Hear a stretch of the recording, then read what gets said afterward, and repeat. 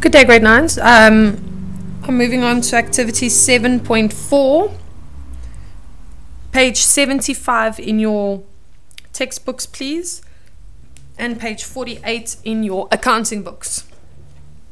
So let's read what they are asking us to do. Um, Pestana Traders, so that is the name of the business that we work at, or it is the name of our business, started trading on the 1st of June 2018. They want us to record the transactions provided below in the debtor's journal of Pestana Traders for June 2018. Pestana Traders marks up their goods by 60% on cost price. The following clients applied for and were granted credit. W. Dube with a credit limit of 1000, Esom Piwe with a credit limit of 1250 and W Tokane with a credit limit of 850. So in other words, they have 30 days to pay back the money that they owe on those goods. Right, and remember, we still go um, D1, D2, and D3. Right, transactions for July 2018. On the 9th, we sold goods with a cost price of 900 Rand on credit to ESMP where invoice number 01 issued.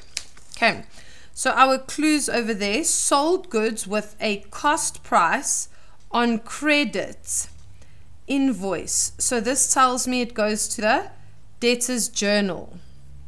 Sold goods on credit to W. Dube for 944 Rand. DJ. Issued an invoice for goods sold on credit to W Tukane, 720. Those are all DJ entries. I'm going to do the first one with you, and then these two will be for homework, please. All right, so we know that we're going to my DJ, activity 7.4. Um, document number, we told, we're told that it was 01 on day nine. The debtor that we sold goods on credit to was Esom Piwe.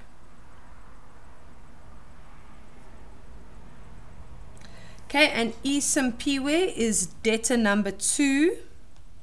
And we sold goods with a cost price of 900 Rand. So we are going to have to work out my Selling price, hopefully you can remember that formula. Selling price equals cost price 900 divided by 1 times 100 plus percentage. And they told us that they have a 60%.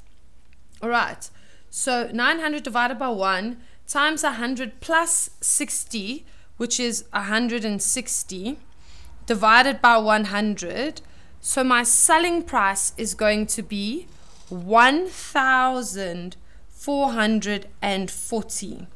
And that is the amount that we need to enter in there.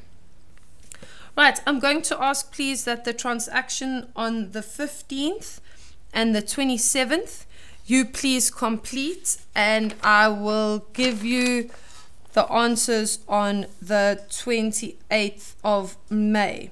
So this is homework. Please make sure that you complete that.